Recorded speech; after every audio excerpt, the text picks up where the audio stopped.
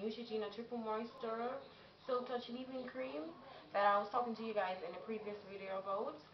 Um, okay, what, what I decided to do, I tried, as I told you guys before, I tried getting the product through, um, through a wholesale, but her, her said that the product was no longer being produced or some, some, something of that sort.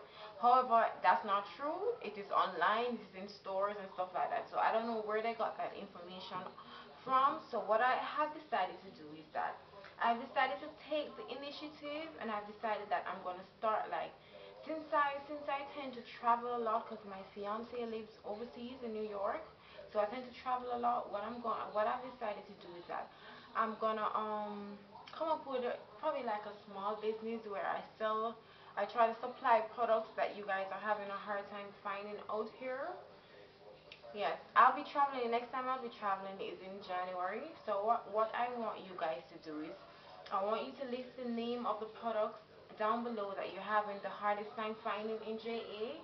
And when I travel in January, I'll take no, I'll, I'll take notes of all the products that you guys are interested in. And what I'll do, I'll purchase it, and then I'll supply it back to you guys when I get back.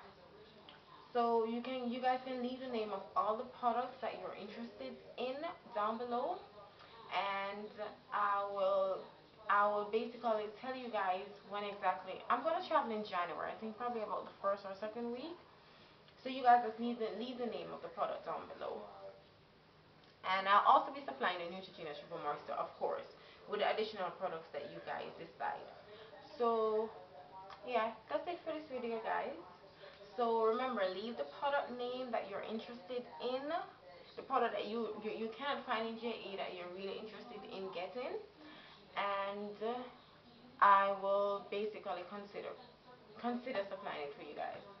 Okay, that's it for this video, guys. Talk to you soon. Bye.